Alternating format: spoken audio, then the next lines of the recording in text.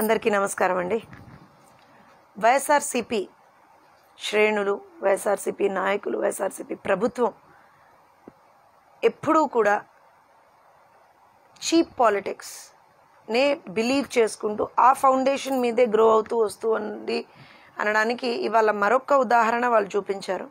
ఏమచ్చాలేని కుటుంబంలోంచి వచ్చినటువంటి ఒక నాయకుడిని పట్టుకొని నువ్వు అవినీతి చేసినావు అవినీతి చేసావు అవినీతి చేసావు అని అరవడం కానివ్వండి అంటే ఒక ఎయిట్ పాయింట్ ఎజెండా ఉన్నటువంటి ఒక ఒక ఇష్యూని పట్టుకొని అందులో ఎక్కడా కూడా ఆ మనిషి పేరు లేకపోయినా సరే ఎక్కడో మూల నిరికించి ఆ మనిషిని తీసుకొచ్చి వాళ్ళు అరెస్ట్లు చేయడం ధర్నా చేస్తే ఫోర్టీన్ డేస్ రిమాండ్కి పంపించడం కేవలం ఒక డిస్ట్రక్టివ్ మెంటాలిటీ తోటి ముందరకు వెళ్తున్నారనేది వాళ్ళ చాలా ఎవిడెంట్గా కనపడుతుంది.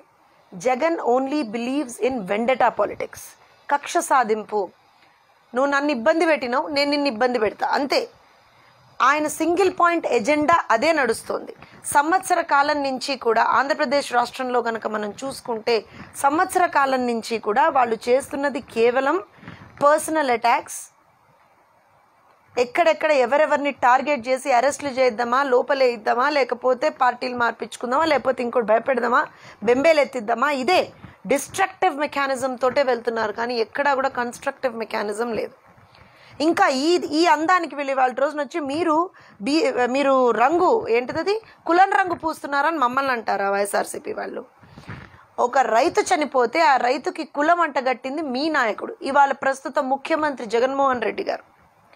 ఒక రాష్ట్ర ఎన్నికల కమిషనర్ రాష్ట్రంలో ఉన్నటువంటి పరిస్థితులను దృష్టిలో పెట్టుకొని రాష్ట్రం ఏర్- ఎదుర్కొంటున్నటువంటి ఆపత్తుని కరోనా రూపంలో ఎదుర్కొంటున్నటువంటి ఆపత్తుని దృష్టిలో పెట్టుకొని ఎన్నికల్ని ఆయన డిఫర్ చేస్తే ఆయన కులం రంగు పూల మీద మీరు. మేం కాదు కులం రంగుల పులి మీద ఎప్పుడూ కూడాను. మీరు కులాన్ని అడ్డు పెట్టుకొని ప్రతి ఒక్క కులానికి అన్యాయం చేసుకుంటూ ముందరకెళ్తున్నది మీరు ఇవాళ రోజున. మీరు ఇచ్చినటువంటి ఈ సంవత్సర కాలంలో మీరు ఒక్క పర్టిక్యులర్ కులానికి మాత్రమే ఏడు వందల ఇరవై పోస్టులు ఇచ్చారు. మేము మాట్లాడుతున్నామా? మే నేను ఇవాళ చెప్తున్నా. ముందర సంవత్సరం క్రితము చెప్పా సంవత్సరం తర్వాత అయినా చెప్తా. ఒకటే మాట. జగన్మోహన్ రెడ్డి అనే వ్యక్తి కేవలం ఒక ఒక వెండటా పాలిటిక్స్ రివెంజ్ పాలిటిక్స్ మీద బతికేటటువంటి వ్యక్తి. ఆయనకి డెవలప్మెంట్ అనే దానికి ఒక అర్థం తెలియదు. ఇన్ఫ్యాక్ట్ స్పెల్లింగ్ తెలియదు ఆ పదానికి. కేవలం what he knows is destruction. ఇవాల్టి రోజున కులం పేరుతోటి కేవలం ఆయన ఏం చేస్తున్నారు అని అంటే డిఫరెంట్ డిఫరెంట్ కులాలకు సంబంధించినటువంటి సంక్షేమ నిధులన్నీ కూడా బడుగు బలహీన వర్గాలకు చెందినటువంటి సంక్షేమ నిధులన్నింటినీ కూడా తీసుకొచ్చి ఆయన ఇవాళ రోజున ఆయన అనౌన్స్ చేసుకున్నటువంటి సంక్షేమ పథకాల పేరు మీద పెడుతున్నారు. అయ్యా ఇది తప్పు అని చెప్పేటువంటి ఒక నాయకుడిని ఖచ్చితంగా ఒక బీసీ నాయకుడిని ఎందుకంటే బీసీలకు అన్యాయం జరుగుతున్నప్పుడు ఒక బీసీ నాయకుడు మాట్లాడతాడు.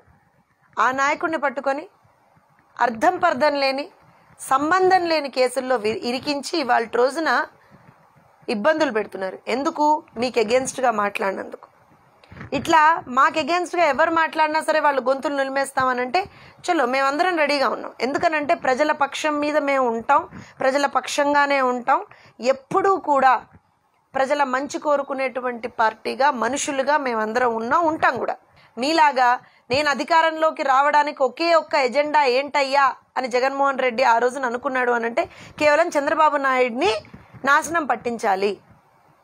అంతే ఇంకొక దానికి ఒక సింగిల్ పాయింట్ ఎజెండా ప్రతిపక్షం అనేటువంటిది లేకుండా చేద్దాం అనేటువంటి ఒక దుర్మార్గమైన నిస్సిగ్గుతనానికి ఆయన పాల్పడుతున్నాడు.